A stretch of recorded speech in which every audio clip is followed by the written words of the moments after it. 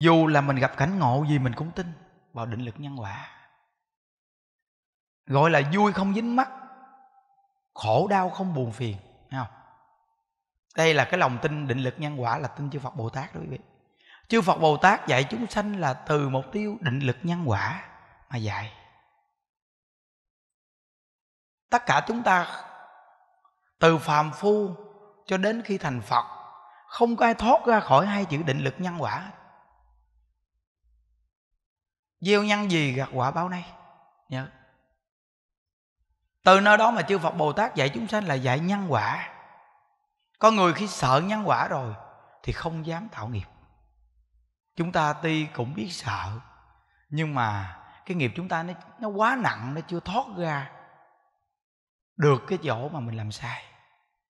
Nên mình phải cần mỗi ngày niệm phật mỗi ngày nhắc mình, mỗi ngày niệm phật, mỗi ngày nhắc mình. Từ từ cái âm hưởng đó nó có một định lực mạnh, nó chuyển xây được những cái tâm nghiệp của chúng ta. Nhưng mà quý vị thấy rõ ràng từ khi mình biết Phật pháp, mình biết tu tới giờ, mình đã sửa sai rất nhiều rồi quý vị. Cứ tiếp tục kiên nhẫn. Pháp môn tịnh độ này đặc biệt lắm. Chỉ có một câu Phật hiệu niệm mà quý vị coi làm bao nhiêu chương trình mà thấy rõ ràng. Phải nhớ cái câu nè niệm niệm phải vì chúng sanh thì tất cả việc làm vô cùng là thuận tiện. Nhớ, niệm niệm vì chúng sanh.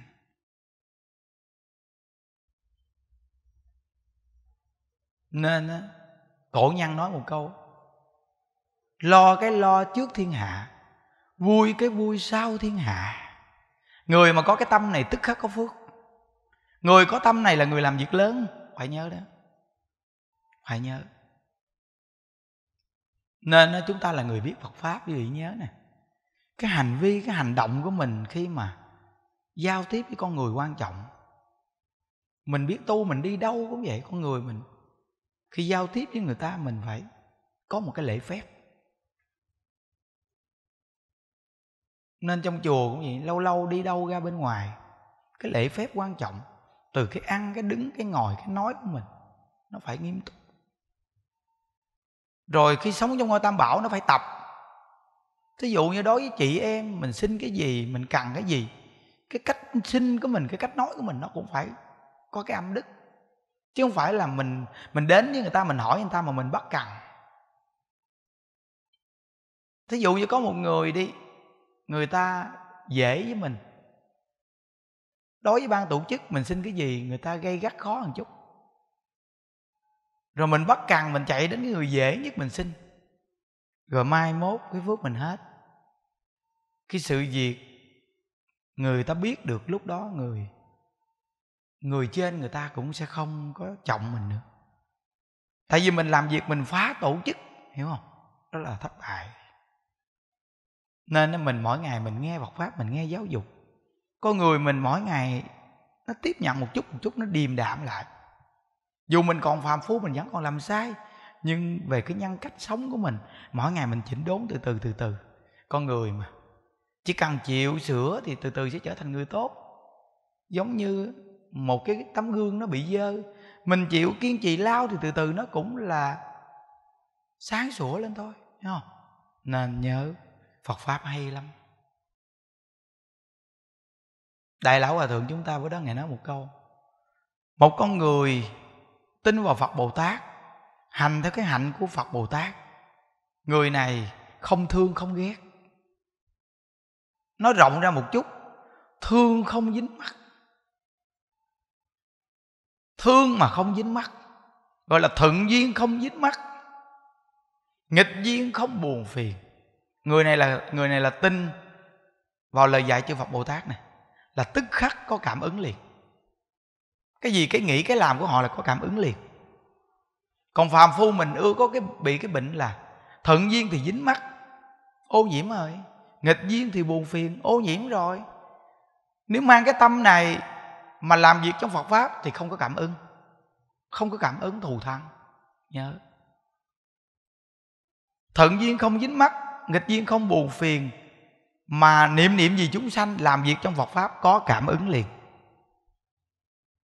mỗi một người học Phật, người làm chồng, làm vợ, làm con, học Phật mà có cái tâm này, quý vị, sẽ chuyển được cái gia đạo, quý vị.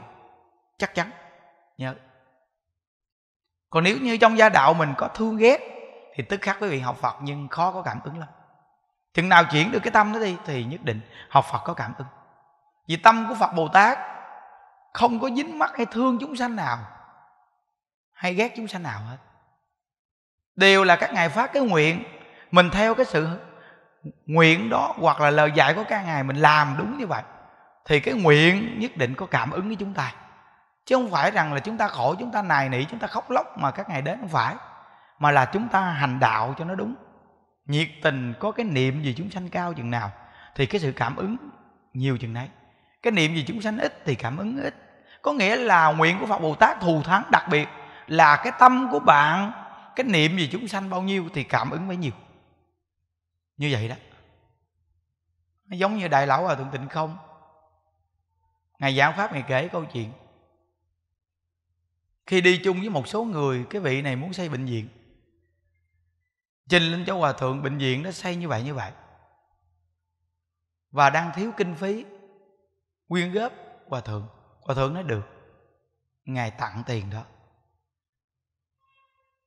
tặng một số lượng tiền rất lớn. Người thị giả đi theo bên cạnh, hết hồn. Và thượng ngài đâu có tích chữ tiền đâu. Mà người ta hỏi mà ngài hứa ngài ngài khuyên tặng. Thì thỉnh cùng hòa thượng hòa thượng ngài nói bao nhiêu năm thuyết pháp, mà đồng tiền này là vì người ta. Thử coi, lời của phật bồ tát dạy như thế nào.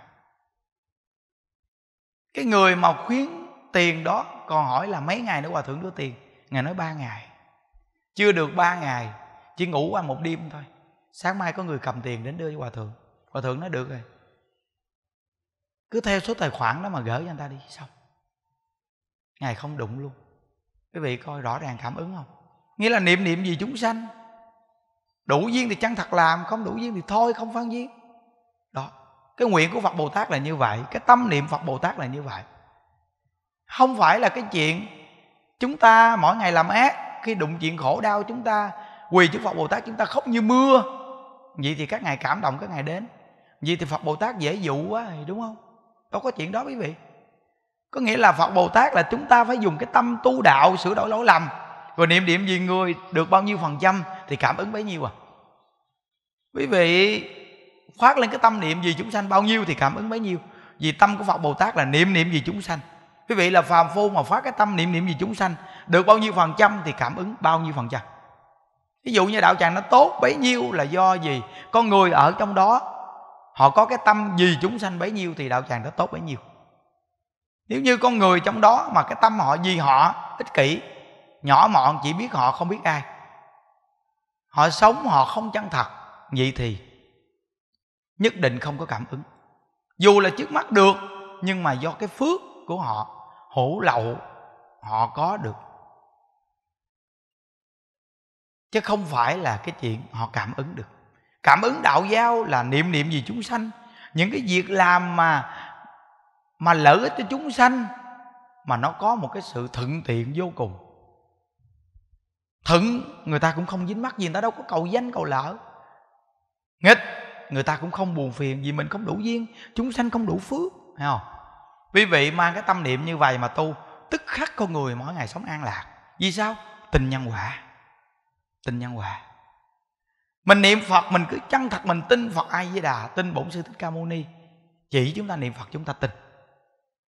Chúng ta niệm bồ tát chúng ta tin nguyện của phật bồ tát quý vị đừng bao giờ có một chút nghi ngờ gì cả, nhất định có cảm ơn lòng tin này là lòng tin hiểu biết. Mình là phàm phu, tờ giấy che ngăn mắt không thấy bên kia hạnh nguyện của phật bồ tát rộng lớn vô cùng. Chúng ta lấy cái trí phàm phu mình để đo lường và nghi ngờ. Vậy thì thua. Không biết dùng cái trí của các ngài để sử dụng thì mình không thể nào thành công được quý vị. Phải nhớ. Nên những đức học Phật thấy Phật pháp đặc biệt lợi ích lớn. Nhất là pháp môn tịnh độ này. Lại Bồ Tát quán thế âm, người ta về quá trời. Người ta đặt máy nghe pháp, người ta đem người ta tặng khắp nơi nơi. Bao nhiêu người những đức gặp, họ nói rằng, trời ơi, mỗi ngày cầm chiếc máy nghe pháp nghe vui vô cùng, giải tỏa tâm tư. Quý vị thấy, những cái điều nói đơn giản thôi. Những đứa có nói hoài cái câu, quý vị đừng có buồn người khác, đừng có giận người khác để trong tâm. Tức khắc, quý vị sẽ sống được an vui. Và con người quý vị càng ngày càng có phước. Nha yeah. còn nếu như buồn, giận người khác để trong tâm, làm sao quý vị niệm phật được? Tu hành niệm phật làm sao cảm ứng được? Vì quý vị mang cái tâm buồn giận người khác để trong tâm là nó che lấp cái tự tánh hiển lộ của mình rồi. Cái phước báo nó che lại rồi. Từ nơi đó thua rồi quý vị. Cái nghiệp nó tăng mà cái phước nó tiêu hiểu không? Buồn giận người khác là nghiệp tăng mà phước tiêu. Nên mình là người nghe đạo, không dính mắc cái thượng duyên không buồn phiền cái nghịch duyên thì tức khắc quý vị ít bao giờ sanh phiền não. Cái người phiền não nhiều là thượng duyên thì mừng vô cùng mà nghịch duyên thì méo mặt. Người này là rất dễ bị kích động phiền não. Theo cái ý của mình thì mình mình thấy mình mừng lắm. Nghịch ý mình cái là mình buồn vậy là mình vui buồn là bị cái ngoại cảnh xoay chuyển rồi. Thua thua hiểu nhớ không? À, nên mình niệm phật á a là vô với đà là lượng phật là giác vì thì trong tất cả mọi cảnh viên mình phải mang cái tâm giác ngộ. Tin nhân quả là giác ngộ đó quý vị. À. nên những cái buổi nói chuyện gì thôi, trên mạng cũng được nghe. Rút cái mp 3 làm máy. Ngày lễ thôi. Máy chùa mình đưa ra. Năm sáu trăm chiếc máy. Dạy khắp nơi nơi hết còn người mà có máy thì thôi đừng có nói nữa biết bao nhiêu mà nói. Ô không phải năm sáu trăm chiếc máy mà là bốn năm ngàn chiếc máy chứ. Ừ, bốn năm ngàn chiếc máy mới đúng. Bốn năm ngàn chiếc máy trong dịp lễ này đưa ra. Vừa đi đến đây lại được bồ tát quán thế âm mà vừa người ta thỉnh được máy người ta cầm về người ta làm ruộng làm rẫy đi đâu người ta cũng cầm chiếc máy này người ta nghe. Nên những đức nói chiếc máy mp 3 này đúng là truyền pháp đặc biệt thiệt tại vì cầm đâu cũng nghe, mà những đức làm, những đức nhìn nhận được cái chỗ này nè quý vị. Tất cả những chiếc máy của mình đều là thẻ bích hết hoàn toàn. Nếu người ta không nghe, người ta sẽ đưa cho người khác nghe, chứ không có cái chuyện rút thẻ ra mà chép tầm bậy tầm bạ. Thấy không? Cái chỗ này mới là cái chỗ đặc biệt. Làm việc phải nhận thức được thì cái lợi ích nó rất lớn. Lợi ích nó rất là lớn. Còn nếu như quý vị đưa một chiếc máy mà thẻ để bên ngoài những đức nó bảo đảm cho quý vị biết phần nhiều bị rút ra và chép tùm lum hết chưa vì thì cái chuyện làm mình công giả tràng rồi. Nên máy niệm phật cũng vậy. Đều là phải đeo, nghe niệm phật không đeo phải đưa người khác. Mà đã nhận rồi, mà không nghe mà không đưa người khác là có tội gán chịu. Tại vì người ta tặng mình để nghe, mà mình không nghe, mình phải giới thiệu đưa cho người khác. Vậy mình cũng có phước nữa, nhớ đó. Còn nếu như quý vị đưa một cái máy mà thẻ ngoài, chắc chắn họ sẽ rút ra, chép cái khác chắc chắn luôn. Nên trong Phật pháp mình phải dùng cái trí tuệ, nên Phật mới dạy là từ bi trí tuệ. Không? nên tất cả mấy những đức đưa ra đều là phải thẻ nằm bên trong hết. Người ta nghe lâu ngày người ta sẽ được lợi ích. Có những người cầm chiếc máy nghe mấy năm giờ. Người ta nghe hoài, người ta nghe tới nghe lui viết có lợi ích. Rồi người ta mới thấy được đúng là nhất môn thâm nhập, quân tu lâu dài, cái lợi ích này lớn quá quý vị coi cái ngày lễ. Bên kia những đức đại 500 danh hiệu, cả ngày 19 những đức cùng tu với đại chúng đại chúng về thấy rõ ràng đó. Đây là xác thực 100% chiều lại quý vị coi những đức lên hướng dẫn, lại thêm 500 danh hiệu Bồ Tát Quán Thế Âm. Dù mình là phàm phu, không phải hoàn toàn đúng, còn sai, nhưng mà cái niệm mình tu hành, có cái tâm niệm gì chúng sanh rất là nhiều. Đây là nói rất chân thật những đức cũng rất mong người trong chùa hay người biết phật pháp. Nên phá cái tâm ra, niệm niệm gì chúng sanh. Đừng có cái gì cũng nghĩ về mình cả. Cái tâm mà cái gì cũng nghĩ về mình, nhìn cái mặt nó héo lắm. Mặt héo queo, như cây khô thiếu nước vậy, hiểu không? Tại vì cái gì cũng niệm niệm gì mình nên ích kỷ. Tu nó không mở cái tâm lượng ra. Cái người tu không mở cái tâm lượng, quý vị coi. Nhìn cái mặt héo queo, như con mèo sắp chết nhớ. Tu tâm lượng nó phải mở rộng ra, càng tu cái tâm nó phải mở rộng ra. Đó. Vậy đó, mình tu nó có kết quả mà thấy Phật pháp nó hay. Những đức thấy công nhận Phật pháp này quá tuyệt vời. Những đức đọc một cái câu chuyện mà niệm phật giảng sanh. Để cho quý vị là tất cả những người niệm phật quý vị nương vào những cái câu chuyện giảng sanh này mà bao nhiêu trăm năm, ngàn năm nè, cái câu chuyện này từ thờ của các vị mà như ngày vệ viễn đâu còn tại thế là hơn một ngàn năm mà mà giờ những câu chuyện này vẫn còn tồn tại tới bây giờ, vậy là đã được nhiều bậc chí kiểm định rồi. Mà quyển sách nó mấy điệu sen thanh này được cái đại lão hòa thượng thích thiền tâm là nhị tổ của tịnh độ tông việt nam chúng ta ngày phiên dịch. Quý vị cứ yên tâm, thấy không? Niệm phật chắc chắn giảng sanh. Vì có nhiều người niệm phật giảng sanh. Mình niệm phật là chắc chắn giảng sanh, chỉ cần mình nắm câu vật hiệu mình niệm cho tới cùng đừng bao giờ dao động tâm gọi là tính nguyện.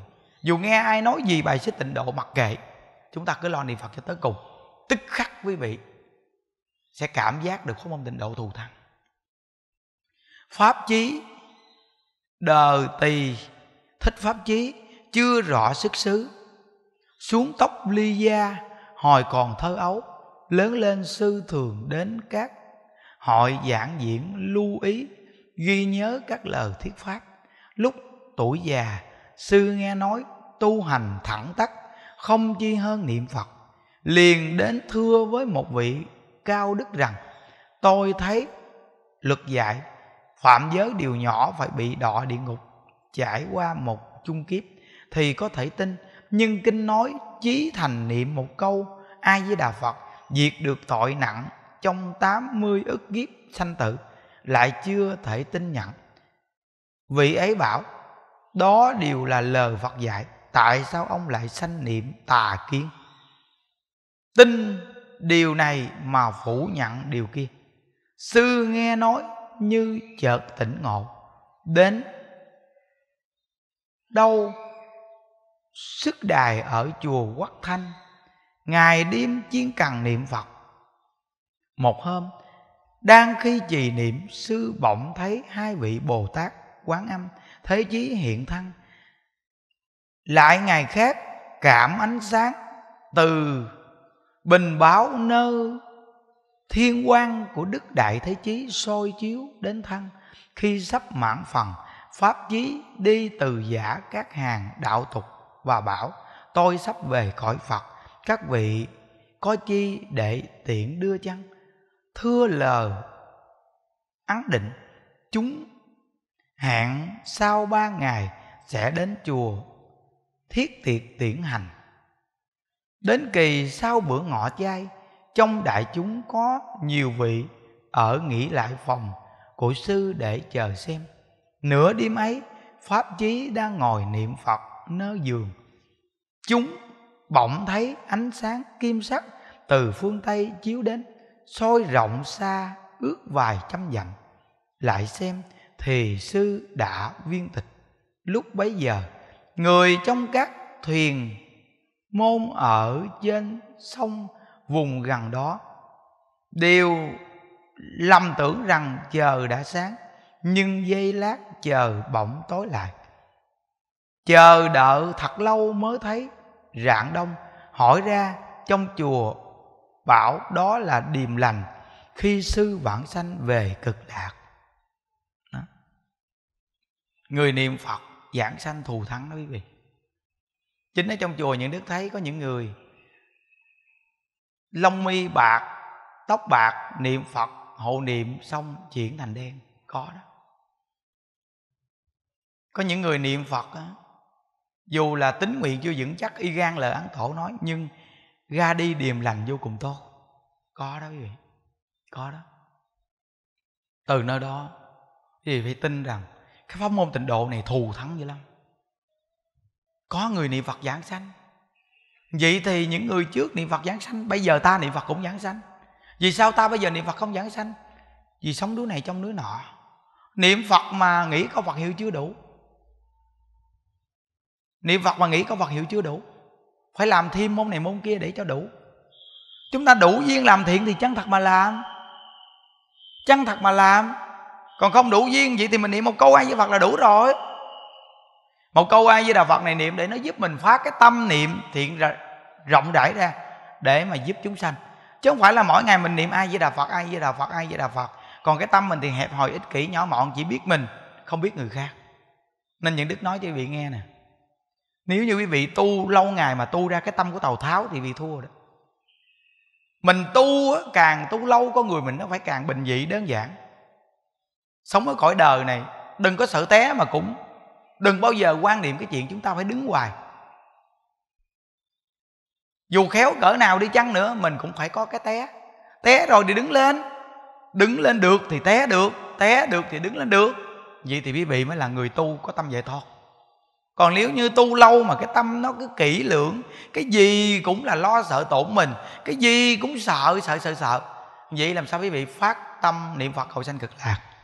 Cái tâm này là cái tâm nhỏ bé cái tâm này là cái tâm tào tháo. Quý vị biết rằng tào tháo ngủ cũng ôm cây kiếm nữa.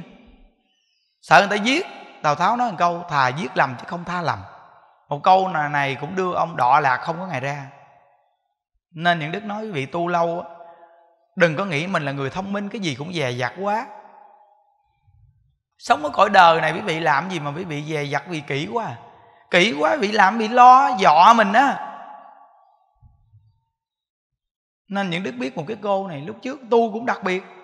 Sau này tự nhiên cái gì cũng lo, cái gì cũng sợ, cái gì cũng lo, cái gì cũng sợ. Trời ơi, tu mà ra cái tâm như vậy sao niệm phật giảng sanh? Cuộc đời những đức, xin thưa quý vị, những đức có cầu tiếng tâm không? Cầu lợi ích gì chứ? Những đức cũng có tiếng tâm gì chứ? Ai muốn nói gì nói, ai thương, ai ghét, ai khen, ai chê kệ người ta. Việc mình mình cứ làm cho chân thật con người sống mà bị dư luận, nó đàn áp mình vậy, cuộc đời quý vị nó bị cái ngoại cảnh kích động mình hả? Nên cái người tu mà không mở ra tâm lượng được là nhìn mặt quý vị là biết liền. Cái gì nó cũng dè dặt dè dặt dè dặt. Cái gì cũng sợ tổn mình chứ. Cái gì cũng sợ người ta nói mình chứ. Thua.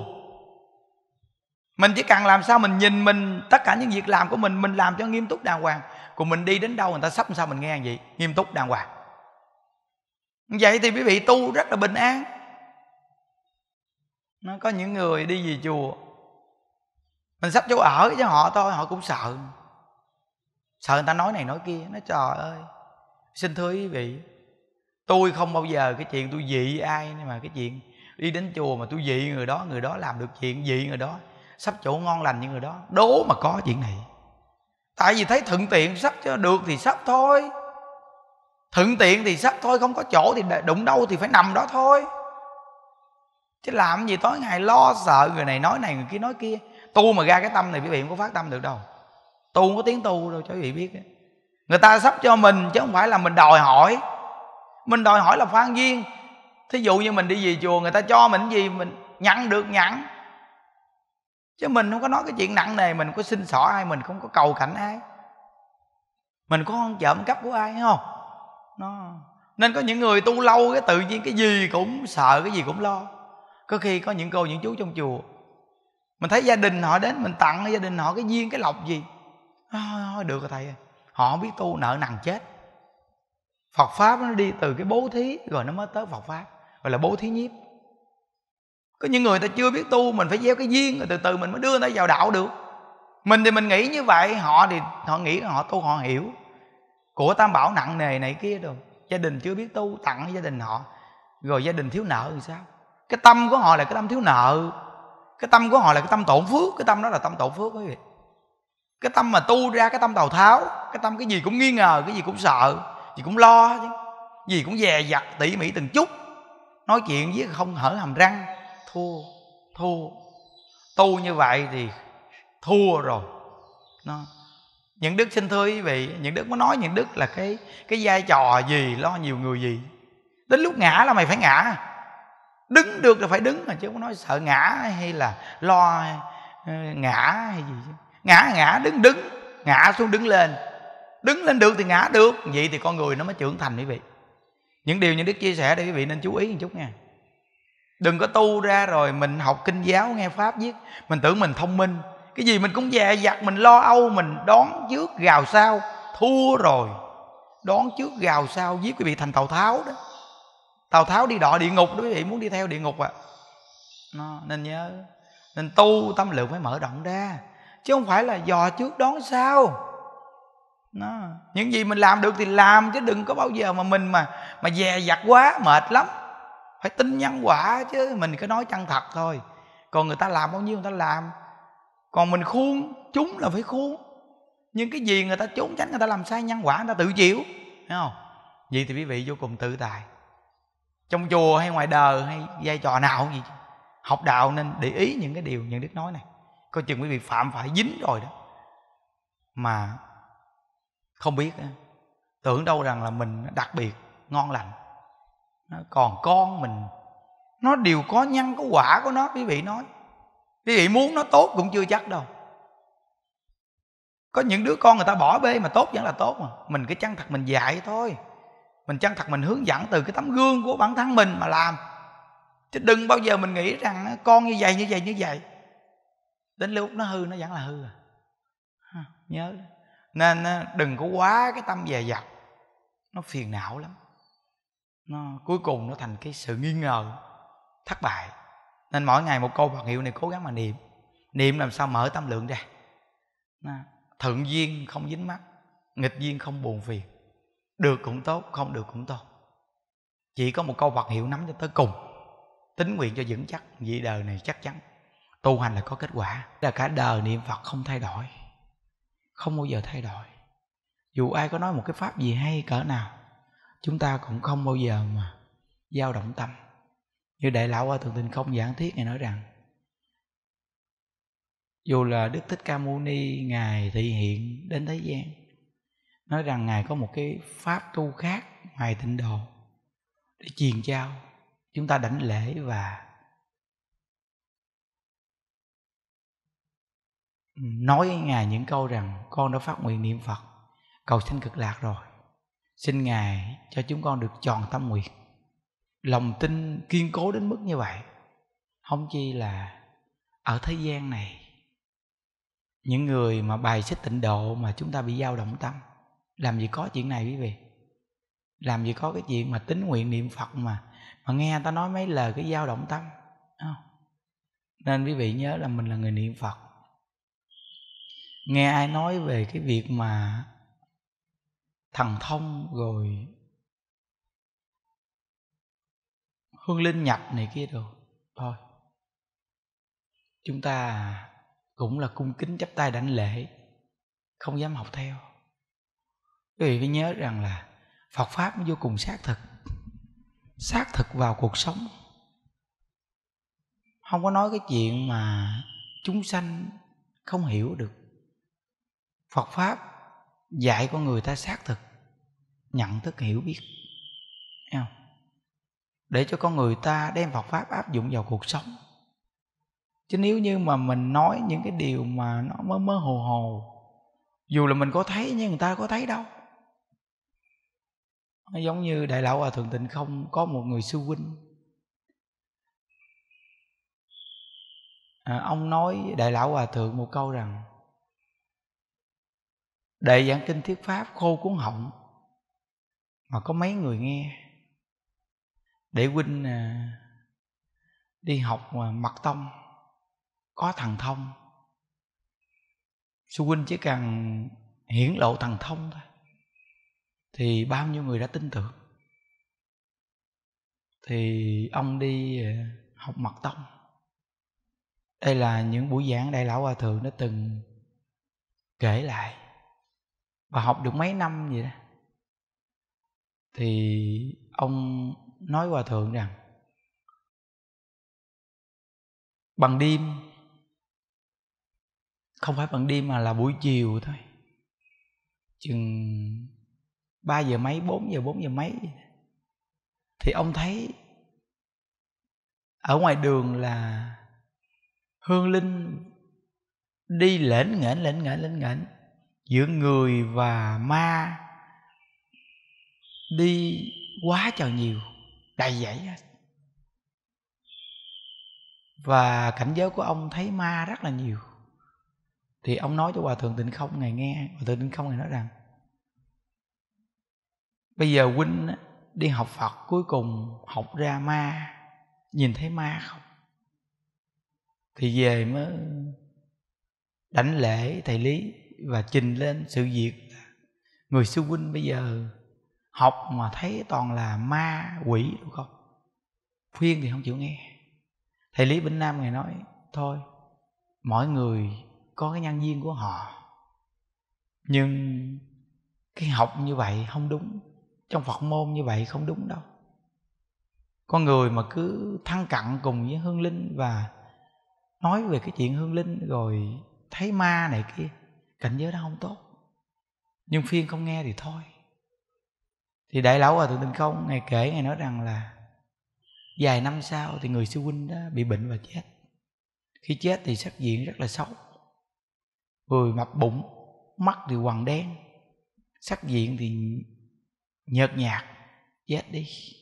Không, nên mình là người học phật, quý vị phải nhớ rằng, nghe ai nói về cái chuyện hương linh nhập xác này nọ thôi, chúng ta chắp tay đảnh lễ, không dám đến thăng cặn. Vì sao? Vì nếu chúng ta đến thăng cặn thì chúng ta cũng học theo vậy. Đại lão hòa thượng tịnh không ngày giải thiết ngày nói rằng, bằng đêm bằng ngủ mà mình thường thấy những người chết mà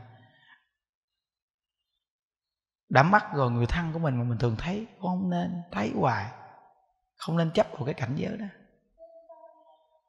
Buông xuống hết vạn duyên, cứ lo niệm phật thôi, mặc kệ. Không để ý tới. Trong giấc mộng thấy cái gì ác mộng, cứ mặc kệ, không để ý đến. Không có lo âu, không có sợ hãi, không có đem những cái điều trong giấc mộng đó đi kể cho người này người kia nghe làm chi. Để cho người ta nói này nói nọ là mình sợ đó là người thân trong gia đình mình mắc rồi mà, mà mình nằm mộng. Thường thấy cũng không nên. Hòa thượng nói nếu cứ như vậy hoài thì cuối cuộc đời chắc chắn đi vào cái quỷ đạo ma đạo chắc chắn. Nên người niệm phật trong giấc ngủ là rất bình yên. Dù có thấy phật đi chăng nữa con không kể cho ai nghe nữa. Chứ đừng có nói mà thấy hương hương linh thấy ma. Không nên. Cảnh giới của hương linh của ma có không? Có chứ nhưng mà chúng ta là người niệm phật người tu không có bàn tán nói những việc đó. Có nhưng mà không dính vào những việc đó. Nên người nào tu học mà nói về những sự việc đó, quý vị nên tránh xa ra. Đây là những đức nghe lời giảng hòa thượng tịnh không giảng hay nói rõ ràng. Chứ tổ sư cũng vậy không có đề cập những việc đó. Tại vì những việc đó là ngoài cái khả năng của cái người bình thường. Dù mình có tu học một chút mình thấy được như là sư huynh của hòa thượng tịnh không thấy được. Hòa thượng tịnh không này nói, huynh thấy nhưng người ta đâu có thấy. Cuối cùng thì người ta vẫn không tin huynh. Thuyết pháp vẫn là quan trọng nhất. Cứ nói đạo lý chân thật, nhân quả cho người ta nghe, tùy duyên thôi. Đó. Nên từ nơi đó mà mình không nên dùng những cái cách đó mà để mà hướng dẫn người. Mà nhiều người bây giờ học đạo, người ta nghe cái gì mà cao xa, cao siêu thì người ta ưa chạy theo. Thôi, mình là người tu đạo, nó không nên chạy theo cái cảnh đó. Ai mà nói về nhân quả, ai mà phiên niệm phật đơn giản nhất, ai cũng niệm phật, ai tu được, thì mình thấy rằng có thể áp dụng được. Còn nói về cái chuyện cao siêu, nói về hương linh, nói về ma nhập, nói về cái này, cái nọ, hoặc là quy y cho hương linh này, nọ được thôi, mình không đủ bản lãnh đó, quý vị. Người ta đủ bản lãnh thì người ta cứ làm thôi những đức ờ, khi mà ngày lễ có nhiều người người ta đến, người ta gặp, mình ta nói, người ta muốn mình quy y dùm cho người ta. Những đức nói, thôi, mình là nhỏ nhen, không có bản lãnh gì cả, thôi, quý vị đi đi gặp những vị hòa thượng lớn đồ người ta quy y cho mình. Ai người ta đủ duyên người ta quy y cho quý vị cũng được. Chỉ cần chân thật niệm phật thôi. Có những người hỏi nhân đức là, bây giờ con, chân thật con niệm phật cầu sanh cực lạc, nếu con không có quy y ai, vậy con niệm phật có giảng sanh hay không? Những đức nói rằng là đức bổn sư thích ca mâu ni, ngài dạy chúng ta nên niệm ai với đà phật cầu sanh cực lạc. Bây giờ mình chân thật mình nghe lời của ngài, đó là quy y bổn sư thích ca mâu ni. Quy là quay về nương tựa với phật pháp tăng. Bây giờ đức bổn sư thích ca mâu ni dạy mình niệm phật, mình chân thật mình niệm ai với đà phật cầu sanh cực lạc, là nghe lời là quy y đức bổn sư thích ca mâu ni đức bổn sư thích ca mâu ni dạy mình niệm ai với đà phật. Mình nghe lời, mình chân thật niệm ai với đà phật là quy đức phật ai với đà. Chúng ta quy được hai vị. Lão sư là đức thích ca mâu ni và đức phật a di đà. Vậy là quá đầy đủ rồi. Nó không có dính mắc vị thầy quy y ở thế gian này. Nhưng nếu quý vị quy y với một vị thầy ở thế gian chứng minh quy y với phật pháp tăng, vậy thì cũng được. Chứ nếu như mình quy y rồi mà mình dính ông thầy, hoặc là ông thầy ông nói rằng là bây giờ ổng quy y thì quý vị là đệ tử của ổng. Và thượng không ngày giảng này nói, không đúng như vậy. Mình chỉ là người đại diện trong tăng đoàn, quy y cho một người cư sĩ. Và dạy người ta một cái pháp tu, người ta cố gắng hướng đến đức bổn sư thích ca mâu ni, phật a di đà. Lời dạy đức bổn sư thích ca mâu ni để mà tu học. Nhưng người được quy y đó phải có tâm cung kính kính trọng người thầy ở thế gian này.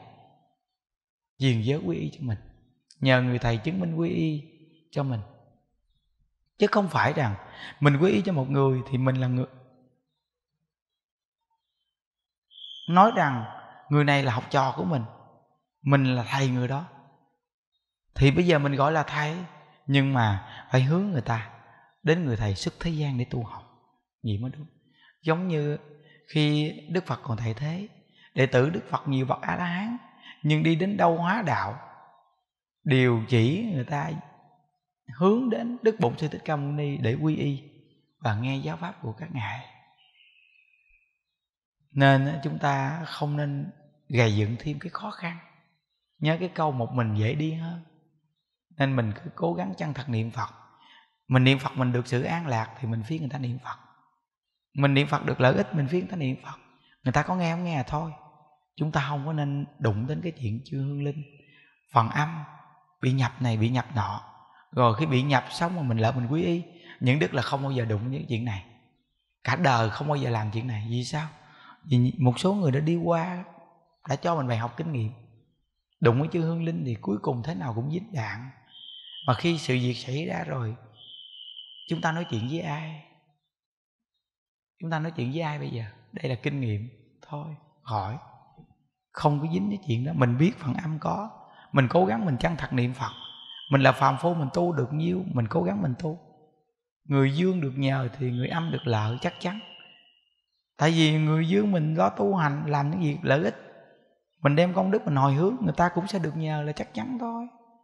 Nên thí dụ như mình phá thai, mình tạo nghiệp gì? Nặng nề. Bây giờ mình chân thật, mình nghe Phật pháp, mình quay đầu mình niệm Phật. Sửa đổi lỗi lầm, vậy là mình chắc chắn là mình đang hồi hướng và mình đang cầu siêu cho họ. Chính cái tâm của mình không buồn giận người được an tâm là cầu an. Chính cái tâm của mình không buồn giận người. Chân thật niệm phật cầu sanh cực lạc là cầu siêu. Vì mỗi ngày cái tâm mình giải thoát là cầu siêu. Cái tâm mình an tâm là cầu an. Mình an, mình mới cầu an cho người khác được. Cái tâm của mình không bị của cải vật chất ở thế gian. Mình nhìn được thế gian này giả tạm. Mình quyết tâm hướng đến chỗ giải thoát. Đây là cầu siêu. Chính mình nè quý vị. Chứ đừng có hướng đến chỗ ban một cái ban ngoài cái ngoài cảnh mà gọi là mình muốn cầu an, cầu siêu. Mà tâm mình bất an, tâm mình loạn tượng. Không hướng đến chỗ giải thoát, làm sao mà mình cầu an, cầu siêu cho người hả quý vị? Phải nhớ. Nên sự tu học là nó phải vô cùng xác thực. Mình càng tu học thì mình an tâm, mình càng tu học thì mình càng thích. Tất cả những việc gì mình làm đều là tùy duyên. Tùy duyên chúng sanh người ta cũng có duyên. Tự nhiên người ta đến mình hữu duyên với người ta, mình phiên người ta nghe. Còn nếu như mình có tâm mình phiên mà người ta không nghe thì tùy duyên vậy thì sự tu học rất là đặc biệt, quý vị. Nha. Nên những điều những đức chia sẻ đây nó rất là gần gũi. Nên mỗi một con người chúng ta tu, học chỉ cần ở nơi đâu, chân thật ở niệm phật là có lợi ích ở nơi đó liền. Nhiều người, thí dụ như nghe chiếc máy đi, quý vì ở phương xa, thiệt xa, đi chưa đến đây được. Nhưng mà mình nghe chiếc máy mình niệm phật là cũng như mình ở bên nhau rồi không nhất thiết rằng mỗi ngày mong mỏi muốn đi đến đây một lần lỡ cơn vô thường đến bất tử, quý vị mắc vàng giảng sanh đó, nhớ nên trong gia đình của mình để máy niệm phật suốt. Gia đình ai cũng nghe được câu phật hiệu nếu quý vị quyết định được. Đây là cái chỗ lợi ích cho người dương, lợi ích cho người âm. Trong gia đình mỗi người chúng ta ai mà không có, những người thân trong gia đình mắc mà chưa siêu thoát, hoặc là quán thân trái trụ nhiều đời nhiều kiếp đi theo mình, nên lúc nào bên cạnh mình cũng đeo máy niệm phật và trong phòng lúc nào cũng bắt điệu hộ niệm niệm phật thì mình cũng được nghe, mà phần âm người ta cũng được nghe. Mình biết có người ta, mình chỉ làm như vậy thôi. Còn cái chuyện mà nhập sát sinh quy y, mình chỉ đến gặp người khác, không có đụng vô. Đụng vô là nó kéo ao ao ao ao đến, nhớ. Thí dụ như người này nói về phần âm, quy y cho phần âm, quy y nói này nói nọ. Với hương linh thì tức khắc phần âm người ta sẽ báo nhau, sẽ ao ạt đến tìm người này. Thời gian rồi nhất định người này có sự vấn đề xảy ra nên những việc này, những đức phiên quý phật tử, đừng nên đụng vô. Vì mình là người phàm mất thịt, mình đâu có thấy cái gì. Nhiều người ta không thấy, người ta nói mình mơ mơ hồ hồ. Làm những cái chuyện mê tín gì đó nghe không? Thôi, Phật pháp nên xác thực đi. Xác thực, người ta tin tưởng sẽ có lợi ích. Nên những đức đọc, những cái văn tự mà chư thủ sư, hoặc là những vị xuất gia, hoặc là cư sĩ nam, cư sĩ nữ niệm phật giảng sanh cho quý vị nghe. Để quý vị thấy rằng người ta tu học rõ ràng đi vào giáo pháp của phật và không bao giờ nói cái chuyện mơ mơ hồ hồ. Thấy không? Mình cũng nên học theo như vậy. Sự học phật của mình vô cùng là xác thực. Có của cải vật chất giúp được ai thì giúp. Có miếng ăn chia được ai miếng thì chia. Thấy người ta bất an, nói mấy lời cho người ta an tâm. Đây là đúng rõ ràng trong Phật pháp dạy mà quý vị. Pháp hỷ và thọ hồng đây là hai vị niệm phật giảng sanh quý vị vị ngang nguyên văn. Đời tỳ thích pháp hỷ, chưa rõ xuất xứ, chỉ thấy thường đi khắp nơi tham vọng các bậc tri thức. Sự tu học của sư có thể gọi là tinh cần không chán mỏi. Năm 60 tuổi, sư mới được duyên lành, gặp ngài trí giả ở núi đại tô. Một khoen nghe pháp âm, liền được thâm ngộ. Từ đó pháp hỷ song tu, thiền huệ và niệm phật. Một thời kỳ, sư đang thực hành môn phương đẳng tam muội. Trong định bỗng thấy có con chim chỉ đến kể quan khúc đòi nợ mạng. Vừa lúc đó thần hộ pháp hiện thân quở chim chỉ rằng, pháp sư sắp sanh về thịnh độ. Trong tương lai khi chứng đạo sẽ đến tế độ cho, ngươi hãy lui đi, không nên khuấy rối. Khi gần mãn phần sư đau bệnh phát nguyện đem công đức tu một đời, hồi hướng cầu sanh cực lạc, rồi xả bỏ tất cả chí tâm niệm phật lúc lâm chung, sư thấy đức phật, hai vị bồ tát và chư thánh chúng đến rước, liền ngồi ngay ngắn mà thoát hóa. Đây là pháp sư thích pháp hỷ. Ừ. vị nghe văn tự rõ ràng á. Chúc những đức đọc thì một vị nữa vị nghe là thọ hồng. Vị nghe rất là đặc biệt dù là tu như thế nào, nhưng cuối cuộc đời đem tất cả công đức, hồi hướng về cực lạc, phát nguyện niệm phật giảng sanh. Cái người mà, quý vị chân thật niệm phật giảng sanh, thì nhớ, khi mà quán thân trái chủ đến quấy rối, nếu quý vị là người thật sự niệm phật giảng sanh, có tâm quyết, thì thằng hộ pháp nhất định sẽ can thiệp. Như câu chuyện chúng ta vừa mới đọc, phải không? Quan thân trái chủ đến để kể lễ đòi nợ. Thằng hộ pháp thiện hiện nói rằng, pháp sư sắp sửa giảng sanh về tây phương rồi. Thôi người lui đi. Pháp sư khi giảng sanh, nhất định sẽ trở lại độ ngươi. Không? Rõ ràng. Vì thì tất cả những người mang nghiệp phá thai hay là sát sanh hại vật làm tội lỗi gì, bây giờ học Phật pháp mình nghĩ rằng chắc chắn mình sẽ đọa lạc. Bây giờ quý vị chân thật niệm Phật cầu sanh cực lạc nếu cái tâm quyết quý vị kiên cố, thì cuối cuộc đời quán thân trái chủ đến nhất định, thằng hộ pháp sẽ ra mặt. Hỗ trợ quý vị. Đây là sự xác thực trăm phần trăm. Dù là học thông tông, thông giáo, nhưng quý vị coi, tu là vừa tu thiền vừa niệm phật, nhưng cuối cuộc đời đem tất cả công đức, hồi hướng cầu sanh cực lạc. Và buông xuống vạn duyên chỉ có niệm một câu phật hiệu, quyết chí, cầu sanh cực lạc thời xa xưa mà còn như vậy. Nếu như hiện thời này mà chúng ta không niệm phật cầu sanh cực lạc thì chúng ta không còn cơ hội gì nữa, quý vị. Nhớ nghe cùng thời gian ấy, có sư thọ hồng, người ở phần dương, hằng chuyên niệm phật cầu sanh tây phương.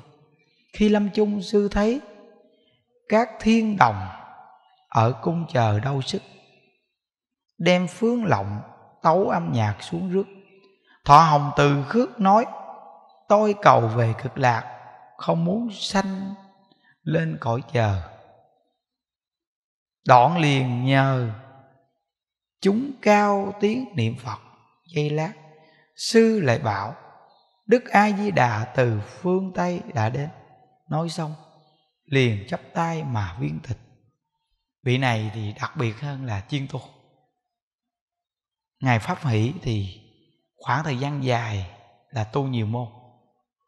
Rồi sau này tu thiền và niệm phật, cuối cuộc đời mới buông xuống vạn duyên phát nguyện cầu sanh cực lạc. Còn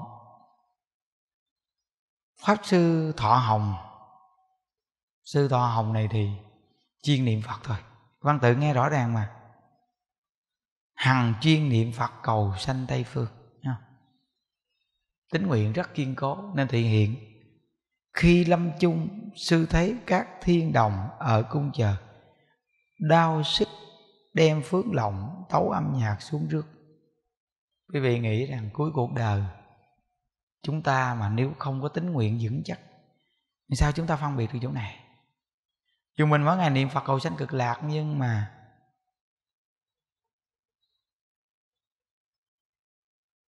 thiên đồng ở cung chờ. Đau sức mà đến rước, làm sao chúng ta phân biệt được quý vị? Mà các vị này trong lúc đó mà vẫn phân biệt được, vậy là cái sự chuyên nhất niệm phật, cái cái đạt công phu cao quá, đúng không? Ừ. nên thị hiện đó. Ngày khước từ không có đi theo thiên đồng ở cung chờ đau sức. Mà ngài nói rằng là ngài niệm phật cầu sanh cực lạc không muốn sanh lên cõi giờ. Rõ ràng chưa đặc biệt thiệt. Đó. nên chuyên nhất niệm phật công phu rất cao. Đó. nghe những văn tự này thì quý vị hưng khởi cái tính tâm của mình niệm phật. Cầu sanh cực lạc vậy lắm. Quá đặc biệt rồi. Quý vị nghe đó. Đây là nguyên văn rõ ràng. Lời phiên dịch của đại lão hòa thượng thích thiền tâm, nhị tổ của tịnh độ tông việt nam chúng ta. Và quý vị coi đại lão hòa thượng chí tịnh là sơ tổ của tịnh độ tông việt nam chúng ta. Dù ngài chức phận trong giáo hội lớn như vậy mà ngài chuyên nhất chỉ niệm phật. Mà ngài phiên dịch kinh giáo quá vàng luôn. Vậy mà ngài chỉ có quyết chí niệm phật cầu sanh cực lạc quý vị coi. Chúng ta còn nghi ngờ gì nữa quý vị? Những bậc long tượng trong phật môn như đại lão hòa thượng chí tịnh, đại lão hòa thượng thích thiền tâm đều là long tượng trong phật môn có học, có tu hành. Thí dụ như giờ những đức không có học bao nhiêu quý vị, còn nghi ngờ nên những đức đọc những văn tự của chư tổ sư. Còn những bậc hòa thượng có tu, có hành, các ngài có chức phận trong giáo hội, nhưng mà chuyên nhất niệm phật thôi, thì quý vị biết rằng là các ngài có một cái sự hiểu biết đặc biệt lắm, các ngài mới làm như vậy, thấy không? Nên chúng ta học phật phải nhận thức như vậy, phải nghe những vị đại lão hòa thượng đã đi trước như đại lão hòa thượng chí tịnh, đại lão hòa thượng thích thiền tâm. Đây là bậc long tượng trong phật môn mà khuyên dịch những cái quyển sách như mấy điệu sen thanh, những câu chuyện niệm phật giảng sanh này kia đâu các ngài phiên mình niệm phật giảng sanh đều rất cốt lõi. Vậy là chúng ta biết rồi. Các ngài đã nhận thức được. Không môn tịnh độ trong thời mạt pháp, y giáo phụng hành nghe lời đức bổn sư thích ca mâu ni dạy. Không môn tịnh độ này, thời mạt pháp chỉ có pháp này mới có thể cứu độ được chúng sanh trong thời mạt pháp. Nên ấn tổ này nói là chính khỏi chúng sanh, lìa pháp môn tịnh độ này, thì khó thể nào mà trên cầu phật đạo dưới độ chúng sanh. Mười phương chư phật nếu bỏ pháp môn tịnh độ này, thì khó thể nào mà độ cả cái quốc độ của họ được sanh về thế giới cực lạc đó. Nên chúng ta phải y theo lời của tổ sư là những bậc có tu có hành có chứng.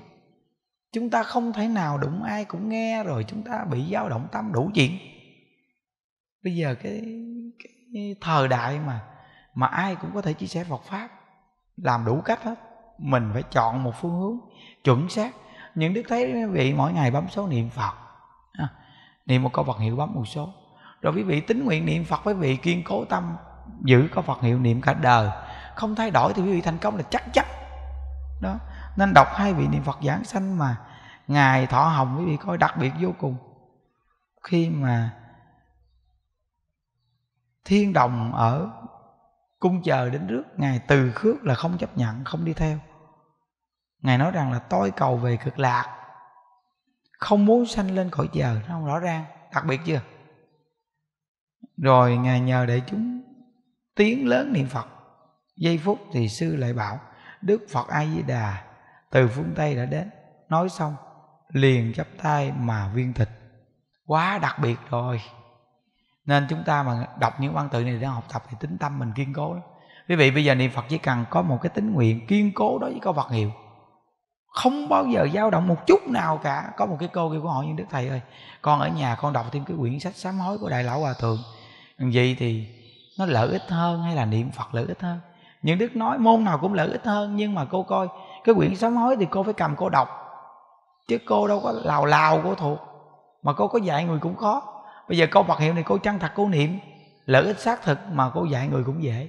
Đó gọi là tự lợi và lợi tha. Tại vì sao đại lão hòa thượng ngài viết ra một quyển sách sám hối nhỏ đó? Tại vì tùy thuận một số người thích sám hối. Ngài viết ra đó, chứ ngài cũng giảng rất rõ ràng, ngài nói một câu Phật hiệu là quá đầy đủ, phải tin. Và lợi ích bất khả tư nghị, phải tin. Mình là người niệm phật, phải tin. Như vậy thì lòng tin mình với pháp môn tịnh độ kiên cố lắm. Nhớ. Mình phải bổ túc như vậy nè để cái sự tu học của mình nó không có bị chạy theo ngoại cảnh hoặc là nó không bị cảnh duyên của một số người phù phiếm lôi kéo nhất là những người nói về ma nhập hương linh nhập đồ này nọ đồ nói về quy y cho ma cho hương linh thôi tùy duyên họ đi. Nhưng quý vị khéo léo tự tranh vì sao? Vì cảnh giới này cuối cuộc đời nhất định mình đi vô trong quỷ đạo và ma đạo chắc chắn. Tại vì cái tâm của mình nó hướng đến chỗ đó mà. Dính vô chỗ đó sao ra được? À, nên phải cố gắng à, hôm nay chúng ta học tập đến đây quý vị. Ai di đà phật. Nguyện à, đem à, công à, đức này. Hướng về không tất cả đệ tử và chúng sanh. Đồng sanh về tịnh độ.